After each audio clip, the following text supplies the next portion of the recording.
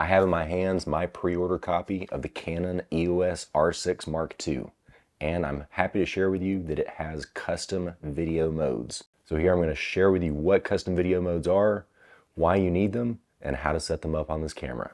Custom modes for video let you switch between multiple resolutions and frame rates, but also keep your shutter speed, aperture, and ISO for each of those frame rates. So I can set up one custom video mode to be 4K 60 frames per second with a shutter speed of 125, or roughly double my frame rate, with an appropriate f-stop and ISO for the ambient light. I can set up another custom mode to be 4K at 24 frames per second with a shutter speed of 50 and f-stop and ISO to match for that situation. This lets me easily switch between settings by just one mode dial. It'll also remember many other settings between those custom modes like crop mode enabled or disabled, sound settings, even white balance and picture profile settings. Being a wedding filmmaker, I need to be able to easily switch frame rates, and sometimes I don't have enough time to dive into the menu and change five different things before I need to start shooting again. I may be shooting slow-mo at 60 frames per second right before the ceremony, but need to switch over to 24 frames per second during the ceremony, and then after the ceremony switch back into 60 frames per second for the exit. These custom video modes aren't just for wedding filmmakers, but also for anyone who's run and gun type who doesn't have time to dive into the menu and change a whole bunch of settings between each situation. So now that you know what custom video modes are and why you may need them, here's how to set them up on the Canon EOS R6 Mark II.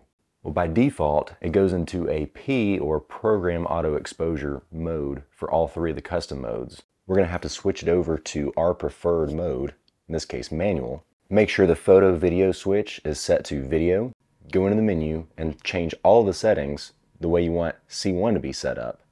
C2 and C3 will be set up this way to begin with, but you can go back and change each of those later. After you've got all of the settings the way you want them for C1, go back into the menu go over to the wrench icon on the sixth page, custom shooting mode, go into register settings, and go ahead and register your settings for C1, C2, and C3 in video mode.